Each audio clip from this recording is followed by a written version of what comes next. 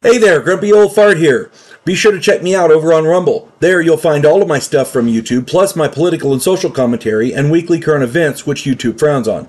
Links to my Rumble channel, as well as my other YouTube channels, and links to let you order my books are in the description of this video.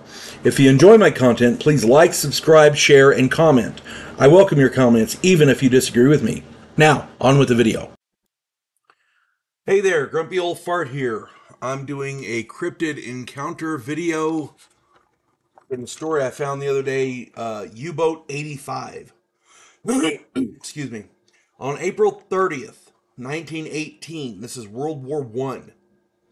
German Captain Gunther Kretsch was commanding a U-boat which was damaged and disabled, and it surrendered to the HMS Coreopsis. And this captain told a strange tale. Captain Kretsch and U-Boat 85 had been tro- patrolling the Irish Sea. Uh, let me start that over. Captain Kretsch and U-Boat 85 had been patrolling the Irish Sea looking for targets of opportunity. Uh, they're trying to take out some shipping that were bringing vital supplies to Britain from the United States and Brazil. Excuse me. U boat 85 was not having any luck. They hadn't fired a single torpedo at anyone. It was around midnight under a full moon, and Kretsch was on the conning tower with uh, some other members of his crew. They were using binoculars to search the waves, looking for you know something to shoot at. Essentially, um, they're you have to understand in World War One, U-boats they're they were not very they were they they weren't very advanced. They they were very primitive. Uh they they they had to surface to look for stuff. They they they I mean it was it was they they didn't have sonar per se. If they did, it was very very primitive. They it's not like they could stay underwater and get right next to something surface and then shoot it. They had to find stuff to shoot. And when you're looking for targets of opportunity, you got to find the target. So that's what they were doing.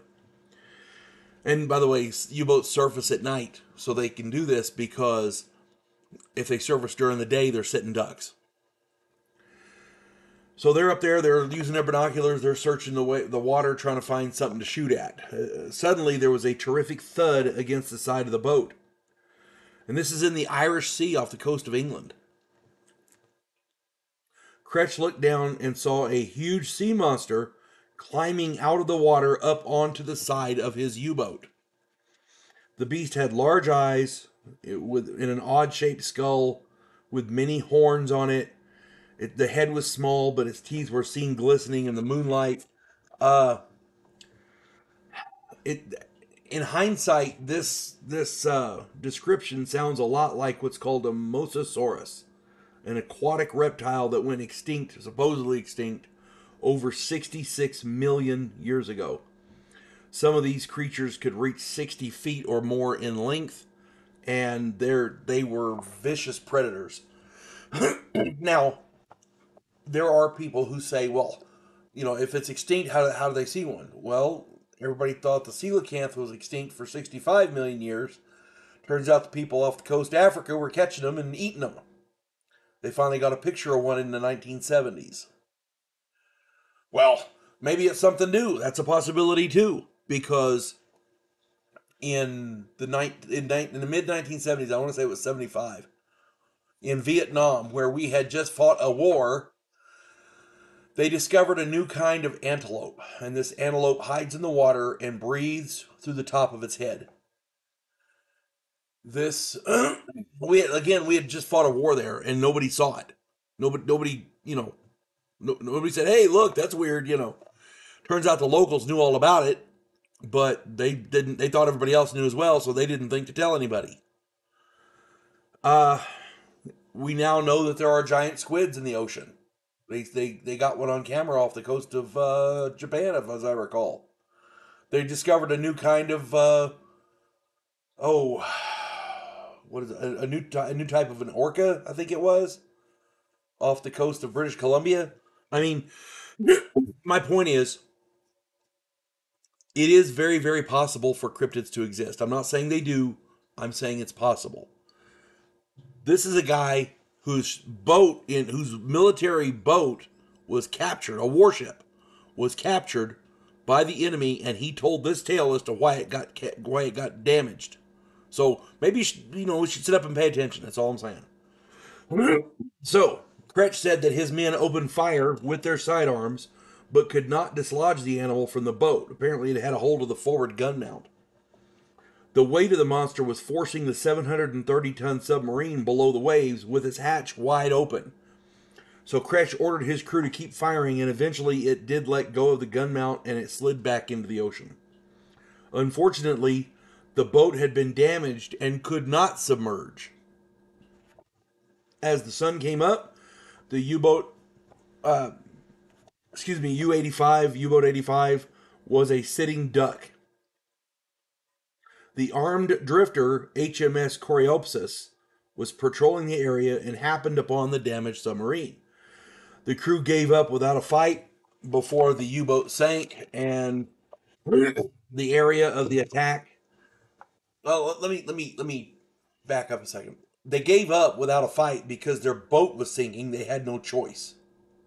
Okay, if that if the Coreopsis hadn't showed up when it did, they would have sunk and been in the North Sea in the in the cold light ocean without, you know, they'd had to paddle to shore or something. That's the only thing I can think of. They would have been captured anyway. They didn't have a choice. At that point, fighting was a, I guess you know. I suppose they could have fired a torpedo at the boat, but at the Coreopsis, but again, that would have been stupid. So, I, I, there's no, there was no logical way for them to survive if they did that. So,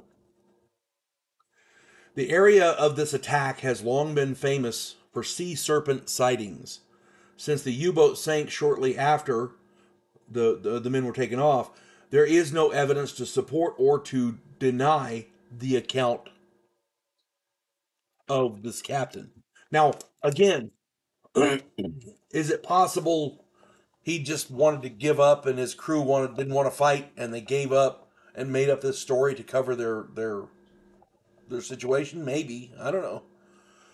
But the fact that a military commander told this to another military commander while he, when he got captured and he gave this as the excuse for his boat being damaged.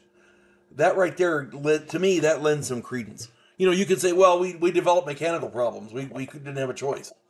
you know, our, our, our, our hatch failed. We, we, we, we hit something and there was a hole in the boat. We had to surface or we were going to sink and you caught us. Oh, I'm sorry, you know, some, anything. Why make up this fantastic tale? There's no reason for it. You know what I'm saying? To me, that story has a lot of credence to it, so I, I put it on here. I uh, hope you enjoyed it. Do your own research let me know what you think. Um, but at any rate, keep your eye on the ocean. If you live near the ocean, keep your eyes out there. Use your binoculars or whatever. You never know what may surface. Hope this finds everybody well. You folks have a good one. God bless one and all.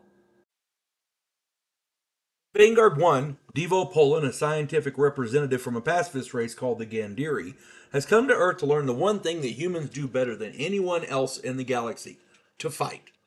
In the sequel, Task Force Terminus, Earth is at war with an alien race called the Amdola. Devo Polan's new commission in the Terran fleet exposes him to bigotry and treachery, and he comes to realize that sometimes political and military maneuvering are one and the same. Be sure to like, share, subscribe, and comment.